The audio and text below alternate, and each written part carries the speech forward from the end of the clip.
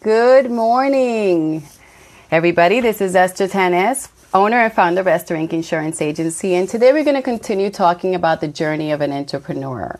I'm very excited this morning because it's one of my favorite topics, of course, um, but also because I get to share with you some of the things I learned in my own journey. So, with that being said, what are we going to talk about today? Today, last week we shared about, we talked about um, building a business plan, right? And the the pieces that need it, that you need to have in that business plan. And today we're going to start with the first one, which is the executive summary. What does it entail? How do you put it together? How, if I haven't had a business in the past, how do I come up with these numbers? And how do I write it well so that someone that's reading it will be interested in either investing in my business or would want to work for the company? And why should I do it? So, why should we do it?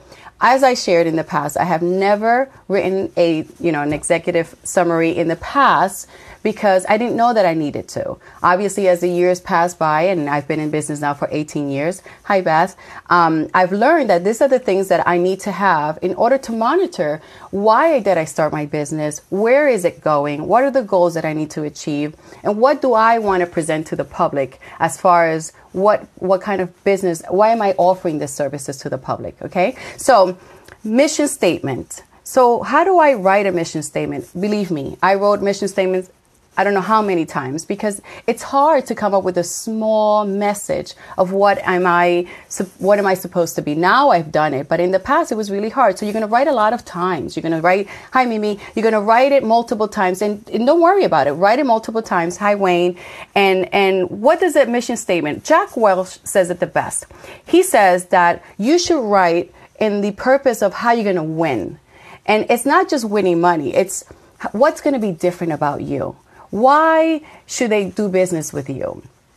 Should they do business with you because you have the best product in the area? Should you do business because you understand their culture? Should they do business with you? What are you offering different? So you might have a grocery store or hair salon, or you are a mechanic, or you're a consultant, or you're a lawyer, or you are a doctor, and there are thousands, right? Other people doing the same thing. So why should they go to you? So that the mission statement should relate that message to the public. When someone's reading that, they should know that what you're offering, what explains what the services that you're offering and why you're offering and how, how is it different for them. So the other part that you should have in your in your executive summary is the company information.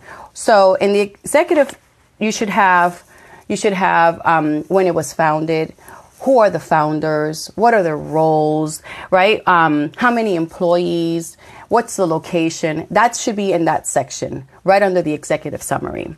The third is growth highlights. Now, these is hard to do when you are just starting, right? Because you have no history to show what where you've been and, and what you've done throughout throughout the years.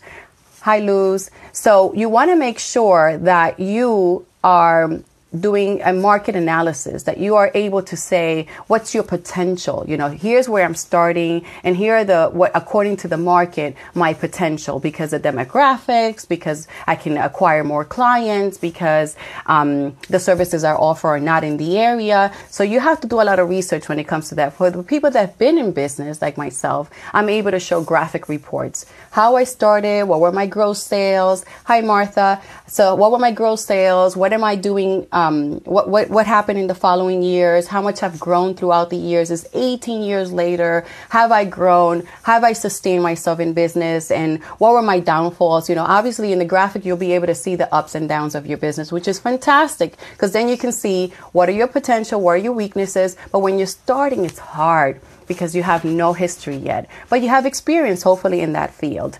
Hi, Sam. So, what are the protection, uh, project, uh, sorry, products and services that you're going to offer? You know, I offer insurance, right? So, so what are you going to offer in your business, and and um, what are the services, and who are you going to mark? Who are you going to service through? For example, if you're a hair salon, what products are you going to have? Are they French? Are they Italian? Are you going to sell it to people that way? Or is it, you know, is it an exclusive line that you have? I happen to have multiple insurance carriers, so I'm able to offer multiple choices to my customers. So I want to make sure I mention that, that I'm in the insurance business and that I'm able to offer multiple choices to my customers. Now, when you're going to get um, a loan or you're going to be asking for money, you have to add the financial services of your of your business you know? How much are you starting with? Is it a loan? You know do you have any debts? What how much you think you're going to need? But this is very important. Make sure you speak to someone that knows how to do financial projections. You know, sometimes your accountant may know how to do that. There are people that are C- CFO for hires, they know how to do that. You want to make sure that you're asking for enough money because if you're not asking for enough money, what happens is instead of growing, you actually deplete. So, an executive summary should have also, the last part should have the, um, summarize the future plans. You know where do you see your company in five years or ten years?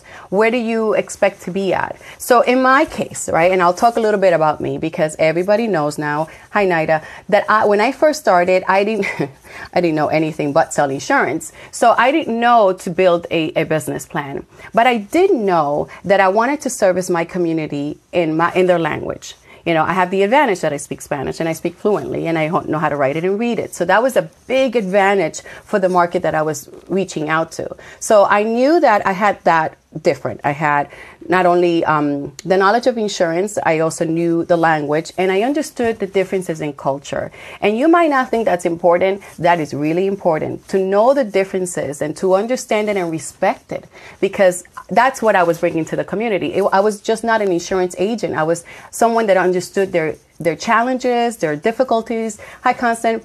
Um, I mean, Connie. So, um, so the importance is that when you are building that business and you're and you're doing that plan it's exciting because you're planning ahead what you want to do with your business and who you're going to offer it to and what products you're going to service and what location you're going to be at. It's all very exciting especially now as i build my second company. And as i write my my new business plan for my second company which now i know to do ahead of starting it i'm very excited about who's my target audience and why am i doing this second business? Hi jocelyn and this second business is about, you know, giving opportunity to other business owners who are want to get into the insurance business and are having a hard time to get in. So that's my mission. What I'm going to be that that link that gives them the opportunity to to get into the industry. So get excited. Don't look at it as a big project. Be happy about it think about all the positive things that you're going to be able to do if you're in the beauty business, if you're in the food business, if you're in the car business, whatever business you're in, get excited about it and plan ahead and just imagine what your business will be. And then you'll need to look at that every so often to see if you've accomplished those goals that you have, um, that you've planned ahead for it.